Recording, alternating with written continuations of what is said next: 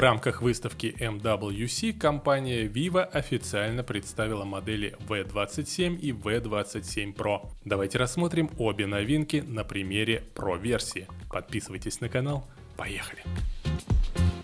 Новинки базируются на однокристальных системах MediaTek. Старшая модель получила Dimensity 8200, младшая Dimensity 7200. Обе 4 нанометровые и с одинаковым GPU Mali G610.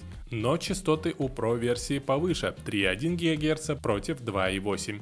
Экраны с панелью AMOLED диагональю 6,78 дюйма, разрешение Full HD+, и кадровой частотой 120 Гц. Фронтальная камера далеко не самая стандартная, с 50-мегапиксельным сенсором и автофокусом. Разработчики снабдили ее рядом программных технологий, которые должны улучшить качество селфи во время съемки с недостаточным количеством света. Основная камера с тремя датчиками, 50 мегапиксельная Sony IMX766V, остальные на 8 и на 2 мегапикселя. Тут есть система оптической стабилизации изображения, в основном модуле, а характерная внешняя особенность – кольцевая вспышка. Телефоны работают под управлением Android 13 с интерфейсом FunTouch OS 13. Есть модем 5G, Bluetooth 5.3. Емкость аккумулятора составляет 4600 мАч. Поддерживается проводная зарядка мощностью 66 Вт. Масса смартфона 182 грамма.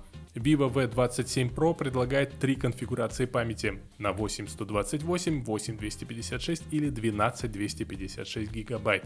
Стоимость новинок стартует с отметки 460 долларов. У Vivo V27 две конфигурации 8 256 и 12 256. Минимальная стоимость 400 долларов.